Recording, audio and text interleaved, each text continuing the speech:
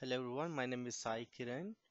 I have already uploaded a couple of uh, videos on YouTube with respect to ALE IDOCs. And uh, this video is particularly for the contents of the ALE IDOC course. And the duration of the course is 15 to 20 hours. So we can complete the course in two weeks. So audience would be functional consultants as well as the ABAPers and uh, the expected outcome is you'll get the in in-depth knowledge in idocs and uh, we'll be working on the real-time scenarios how to troubleshoot the idocs and how to create a custom idocs and how to uh, extend an idoc and how to uh, analyze uh, do the analysis on the standard idocs. So by the end of the course definitely you'll be uh, thorough with uh, concepts, basic concepts, as well as the uh, scenarios that come uh, with respect to iDocs. And uh, as you know, my name is Sai Kiran. I put up 10 years of experience. So most of the times I worked on interfaces, with iDocs. with coming to my training experience, I successfully uh, delivered uh, 12 batches. The batch may include two to three uh, resources. So this is my email address saikiran.abapnw at gmail.com and this is my contact number 984921166 and uh, let's have a look at the uh, topics of the course.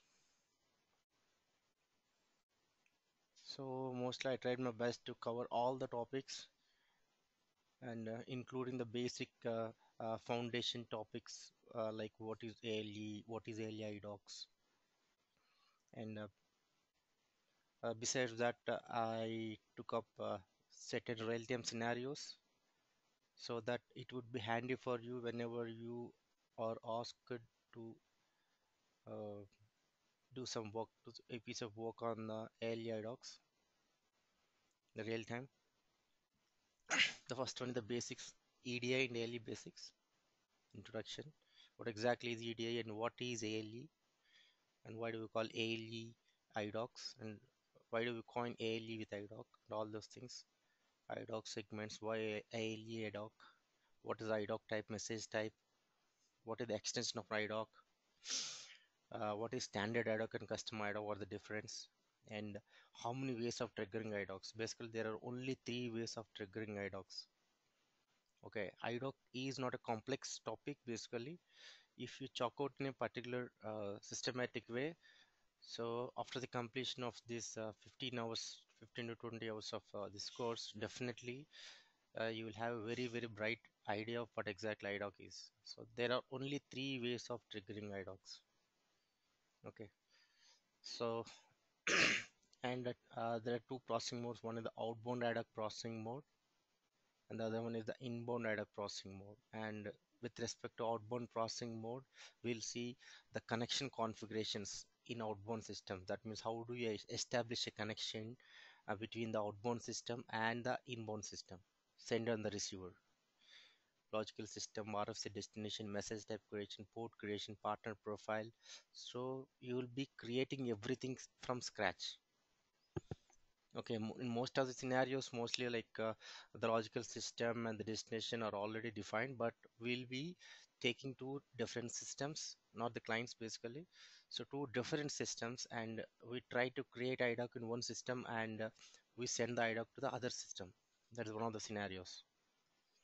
Okay so coming to this outbound idoc processing first one is the connection establishment and second one is the ALE idoc configuration basically. It's all about idocs it's not connections coming to the inbound one also we'll see the same connection establishments and the ALE IDOC configurations. In that we'll see uh, uh, how to create a function module which receives IDOC and uh, which processes IDOCs and what is the process code and uh, all the linking aspects with respect to the function module basic type and message type. They're just a, a couple of T codes but we need to understand it uh, thoroughly and the next topic is distribution model which is very important see i just talked about uh, the complete uh, uh, uh, topics in a systematic way as you can see here so distribution model you can uh, uh, use the distribution model to send an IDOC to different receivers. If there are multiple receivers, mostly we go with the distribution model. And not only that, there are a couple of other uses when we go with distribution model. We'll see the complete scenario to send IDOC by this uh, distribution model. And we'll see what is a filter basically. You don't want to send a uh, an IDOC uh, when a particular condition is met. That's what is called filters we can filter at the IDOC level and we can filter at the segment level. Okay. So basically the IDOC and segment, as you see, most of you must have uh, uh, been familiar with the IDOCs. If that is the case, then I say that IDOC is just a container which holds some data content. The content is there in the segment level. Okay. IDOC is a name basically. IDOC comprises segments and each segment has the fields it's a group of uh, fields and that field itself carries some data we'll see that and next one is the reduced message type so it's opposite to the extended message type similarly similar kind of thing. And the seventh topic would be complete end-to-end -end standalone scenario. Okay. So we'll be see we'll be looking at the complete uh, uh, end-to-end -end scenario by the topic 4 and 5 means this one. Inbound processing and outbound processing. Okay. Creating and uh, sending a standard IDOC from one application server to another application server. This is standard IDOC. Okay, next one is same thing with respect to custom IDOC that we create. Okay, standard IDOC is something that the container is already given by SAP. Custom IDOC is something that we prepare the container so that it can hold the uh, custom data or any type of data. So basically we are preparing a structure. And third one is custom program to create the IDOC by using standard function modules. We'll create a custom program to create an uh, outbound IDOC. Okay, see now see the complete scenario with respect to the complete standalone scenario. First one is the standalone one, right? End to end. Second one is message control. Third one is the change pointers. That's what I told in the initial uh, page. There are three uh, ways of triggering. One is the standalone, Second one is the message control. Third one is the change pointers. That's master data. That's what uh, I try to explain it here. Standalone one scenario and message control will come. We'll see the scenarios. What exactly is message control, and we'll see the uh, actual real-time scenario. Third one is the change pointers. What exactly is change pointers? Change point is nothing but like whenever you say just an example whenever you um, uh, save uh, a material you change a material so let's suppose you take an attribute of a material, maybe color. Whenever you change the color of a material and uh, the receiver is interested to capture that particular changed field data, then you have to inform the receiver. How do you inform? You'll inform in the form of an IDOC. That when does an IDOC, uh, when should an IDOC be triggered?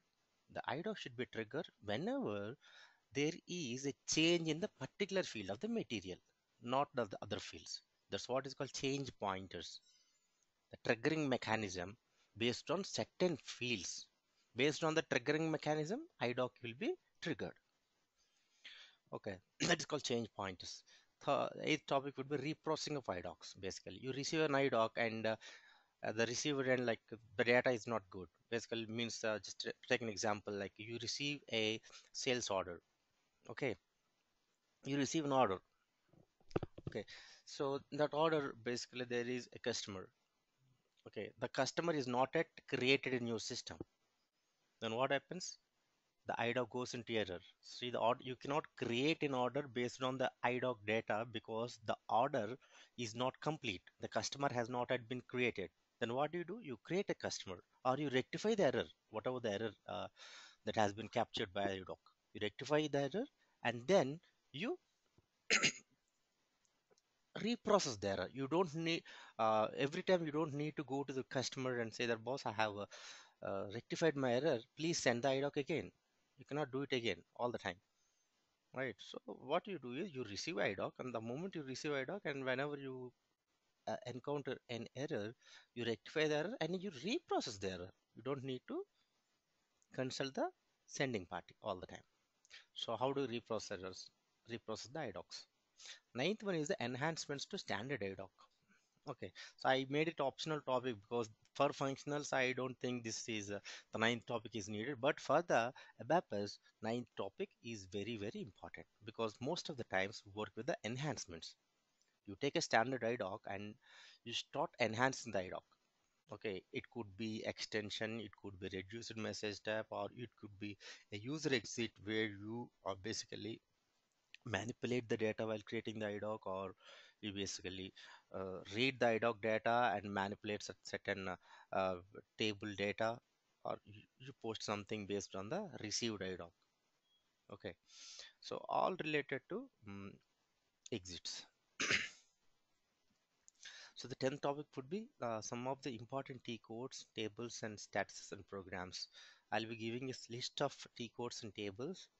It's not like you you can get everything on the Google, but thing is like what I'm whatever I'm giving is the filtered out list basically that are basically useful for you uh, based on the normal general scenarios. Okay, so that uh, 11th one is the troubleshooting or outbound inbound IDOCs. So troubleshooting is related to your reprocessing also. So whenever you uh, receive an IDOC, the IDOC goes into error. Whenever you try to create an IDOC, the IDOC goes into error. When the IDOC goes into error, there is specific status message. Okay, based on the status, you have to react to that particular IDOC. So that you have to reprocess the IDOC. You have to reprocess the IDOC in different ways. Okay. So all the T codes and all the uh, programs which are useful to reprocess the IDOC and uh, to troubleshoot an IDOC. Basically, you send an IDOC. That IDOC has not been received by the receiving system, but that is in the green status. What do you do? So all those typical scenarios, okay, which normally uh, will be encountered at the time of uh, creating IDOCs will be dealt in this particular topic. The 12th one with the practical real-time scenarios and interview questions basically. So real-time scenario, I'll be giving a few scenarios which uh, which I came across and which most of the resources come across. And apart from that, I'll be giving some interview questions. So this is all about uh, uh, the IDOC content. So the duration I'll be repeating. So so yeah, there are certain these are the scenarios. Not that important. Okay, so the duration will be 15 to 20 hours. Mostly, typically it goes in uh, uh, um, up to two weeks. Okay, Saturday, Sunday I may not take, but if at all, uh, if there is any options during from my end or from your end during the weekdays, then I take up the class on the Saturdays or Sundays. So it's flexible. So morning time or evening time. So you can contact me. So this is um, just uploading this video. I'm just uh, building up this channel because of only one reason. Like uh, most of the times, like uh, I don't know you and you don't know me. In other words, like the trainer is ready to impart the training and the resources who want the training uh, they they don't find the trainer. So i don't find you you don't find me. So in between there is uh, there are certain consultancies basically they charge amount from you and uh, they charge amount from me. And uh, that's why i just want to avoid that. So please uh, take up the course uh, not i don't say from me but from the direct trainers. So please don't waste your money and uh, please don't uh, let me waste my money. So that's my motive. If you want you can directly contact me on this number. Okay. Thanks a lot. So